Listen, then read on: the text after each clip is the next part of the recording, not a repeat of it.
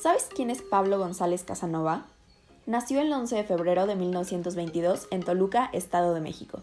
Estudió la carrera de abogado en la Facultad de Jurisprudencia de la UNAM y posteriormente realizó una maestría en Historia impartida por la Escuela Nacional de Antropología e Historia, así como por el Colegio de México, obteniendo el título con la distinción Magna Cum Laude.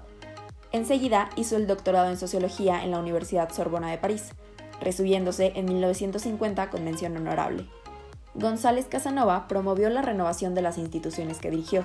Ocupó diversos cargos como 1. catedrático y director de la Facultad de Ciencias Políticas y Sociales en los periodos de 1952 a 1956 y 1957 a 1965.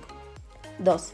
Director del Instituto de Investigaciones Sociales de 1966 a 1970 y 3. Rector de la UNAM de 1970 a 1972, entre otros.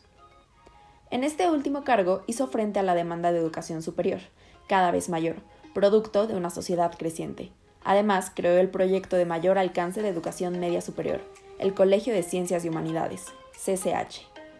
Por otra parte, es autor de obras como La democracia en México, de 1965, La falacia de la investigación en ciencias sociales, de 1987, y La universidad necesaria en el siglo XXI, del 2001, entre otras. Por último, cabe destacar que en 1984 recibió en México el Premio Nacional de Ciencias y Artes y que su discurso molestó grandemente al poder político y económico. El Ejército Zapatista de Liberación Nacional lo nombró comandante por su labor como pensador.